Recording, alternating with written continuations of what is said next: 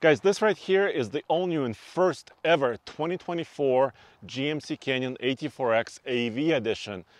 They basically took the AT4X that came out in 2023 and really injected a lot more performance, off-road performance and capability into it. And this is my first hands-on look just for you. And I'm gonna show you everything I love about this truck and also a couple things that I really don't. And so let's go over it from the very top. Let's walk around this way. Of course it starts, this is available in only one way. It's a crew cab with a shorter bed. It's a five foot bed. It's got four full doors. So it's really a mid-sized truck, but it's on 35s. And that's what makes it really, really special. So let's take a look at the tires and then look at the suspension as well. Um, they call it 35, but the size here is 315 70 R17. So it's a 17 inch wheel. It's sorry, it's, this truck is really muddy because I just came back from a a really uh, cool experience trail run in this truck. So this wheel design is really reminiscent and really is related to the AEV, what they've been doing with vehicles for up to 27 years. And then they wrap this large tire around it. The offset of this wheel is a little bit different. So if you look at it from the side, it's poking out a little bit and the tire is really wide, 315. So they had to redesign the flare, the wheel flare here. So you can see it's a little bit, there's another lip here. So it's a unique just for this truck. The fenders and the bedside on this truck are already the same as all the other Canyons basically. This is a wide body truck. Then uh, it has an additional lift over any other AT4X or any other Canyon. So it sits about an inch and a half taller than a other AT4X. It has 12.2 inches of ground clearance, which is really mind-boggling because just a couple years ago, you know, 10 and a half inches or 11 inches of ground clearance was a really, really great number for a factory pickup truck. And now we're looking at 12.2 inches for this mid-size segment. That's really, really great. Of course, it still has DSSV Multimatic spool valve shocks. So let's take a look under here. Do you see that? Yeah, so even though the height of this truck is a little bit different, um, the shock technology is basically the same that they're using on AT4X trucks and also Colorado ZR2 trucks. And I gotta say, yeah, I mean, you really have to test drive this truck to really get to know it and understand how these shocks work and how it behaves. Now take a look at the skid plate package. So it all starts here. I've talked about this before, boron steel. So what does that mean? it means it's hot stamped. So the metal goes into the press in a hot state and then it kind of cools. It's a special alloy. Um, and it's really cleverly designed just to offer a little bit better approach angle. This is just over 38 degrees, but also cooling. Look at this front skid plate. There's an opening right there for to get air to the either intercoolers or radiators because this is a turbocharged engine underneath. And then of course part of AEV package is this bumper. So it's also really tough steel bumper. And I was talking to CEO of AEV, American Expedition Vehicles, Dave Harrington, and he told me that this section can be replaceable. So you don't have to replace the entire bumper if you do damage, for example, this corner or the other corner where it kind of meets here and goes away around here. So this section can be replaceable if it gets damaged. So really impressive, I think, capability. So everything on this truck has a function, really. Really great approach angle. Behind here, behind this license plate holder, is a place for the winch. So right here, you, there, this one is not equipped with one, but the mounting bracket is right there. So all you have to do is purchase the winch. Uh, you could purchase it from GMC Performance catalog or maybe even have your own winch that's kind of fit, that can fit this space. and capability. Let me open the hood because, of course, we have to discuss a little bit about power. Really, there's only one power choice, and it's a gasoline engine.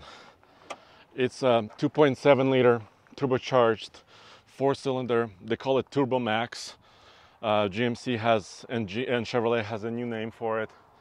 And 310 horsepower and 430 pound feet of torque. They call it the high output engine. It's available in other models of the Canyon and the Chevy Colorado. And uh, I wish it had a little bit more power just to differentiate itself from the other trucks because this is a very, very high performance, unique vehicle. Uh, but that's just my personal opinion. Obviously, there's nothing wrong with this engine. It has a lot of power and torque. it's really muddy. So these rock sliders are actually available on other canyons, like the AT4X has this rock slider. And here's the thing, and their engineering team has spoken about this. You don't want it to protrude too far down, or you don't want this section to be too wide, because what you want to do is to protect the body, the expensive components of the truck.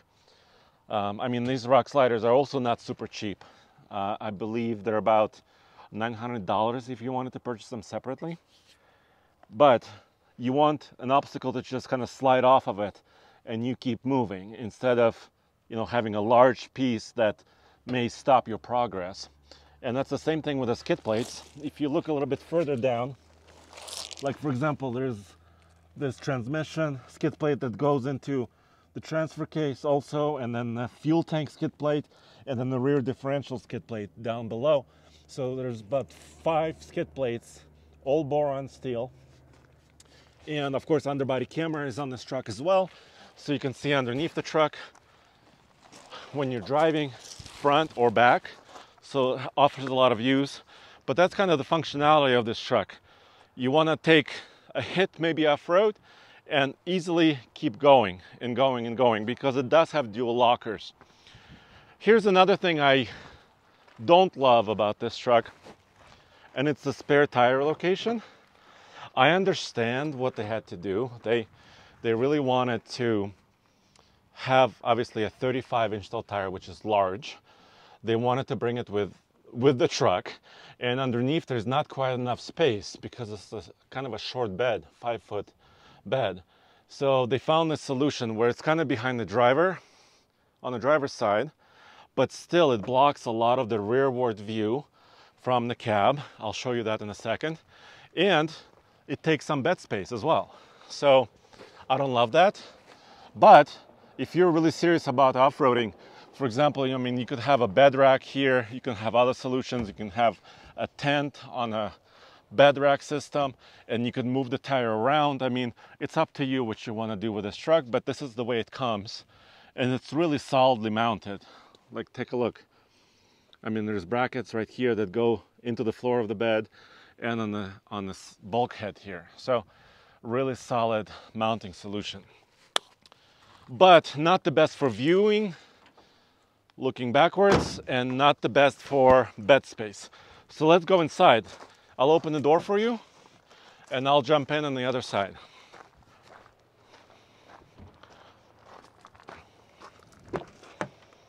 First of all, what is apparent right away is the color scheme of the interior. So it's red, there's red accents, there's white accents, and here's it kind of is going through its animation sequence. Um, there's of course two digital screens, one in the center and one in for my gauge cluster. I can power this up. The truck will come to life. Let me change it a bit. I can view different, for example, I can view a map down here and while the infotainment system still does its own thing. And whoa, sorry about that. I have, um, like I said, rear locker or both front and rear lockers. So I do have this capability. Um, ZR2s and AT4Xs also have this, but this is what makes this truck I think ultimately capable, so I love that stuff. Um, here's the view out the back. I don't know if you could see. Uh, sorry, but the view at the back is kind of inhibited by that tire. So that's what I was talking about. Other than that, the seating position is really good. You have heated seats, ventilated seats. You got wireless charger down here. You have these white panels. Yes, I kind of like the aesthetics of this, but it could get dirty. Like my jeans are dirty right now, and I'm touching this portion and this portion. But I kind of like that they infused different materials into the same interior. This truck is capable of towing up to 6,000 pounds. So it's not the 7,700 pounds of some other models. Obviously, the suspension and the cooling required to tow really heavy trailers is a little different here. Also, the suspension is different. So 6,000 pounds is the towing capacity. But the other thing that I'm not in love with is the payload capacity. When we go outside, I'll, I'll show that to you. But in general, I think the interior is well done. There's a heads-up display in front of me. I don't know if you could see that. Yeah, it's kind of blinking right there. It's because of the camera refresh rate. Uh, but in a mid-sized truck, I think it's really cool to have all the features, including heads-up display. This one also comes with uh, the sunroof. All right, so let me show you the payload. Let's go outside and we could close this video down.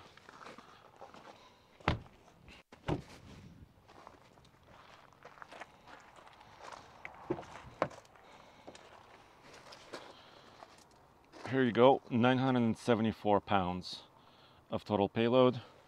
And this truck's gross vehicle weight is 6350 right there. So yeah, this pickup is chunky, but here's the thing. That number may seem low. It is a bit low, but consider all the equipment this truck has. Large tires, they're pretty heavy. Lots of skid plates, steel bumpers, front and rear. We haven't, I haven't really showed you the rear bumper, but it's also right there. Of course, a spare tire carrier, all the luxury features we talked about, including ventilated and heated seats. Here's the rear bumper with recovery points, and everything is integrated, including uh, parking sensors, of course, your 4-pin and 7-pin connectors, your hitch, and all the angles are better than an AT4X because you have more ground clearance. Um, so consider that, like if you had a Jeep Gladiator Rubicon that was built up, you know, on bigger tires and more protection. Or if he had maybe a Toyota TRD Pro that's been built up, Tacoma TRD Pro that's been built up with different skid plates and bigger tires and protection, those vehicles will also have quite a bit lower payload uh, ratings. So you just have to compare apples to apples. That's very important. So I cannot wait to compare it against other vehicles. Yes, I can show you a little bit later on alltfl.com how this compares to a standard AT4X, but I really want to get this truck to Colorado, to our home base, and actually compare it against other top of the line trucks in its segment. So let me know what you think in the comments below. By the way, you're probably wondering how much does all of this cost? We don't have that number yet because different aspects have to do with this the factory that's building GMC Canyons and Chevy Colorados currently is on strike. Um, it's closed, it's not operating. They say these trucks will be built or will begin production at the very end of this year. So still within a month or two. That's the latest, as accurate of an estimate as anybody can give. So pricing is not available yet. A standard AT4X Canyon starts at $55,000. And then, of course, this AEV package can be anywhere according to my estimates, between seven and ten thousand dollars. So we'll have to wait and see how that plays out. Thanks for joining me, and I'll see you next time. And check out alltfl.com for everything automotive in one place.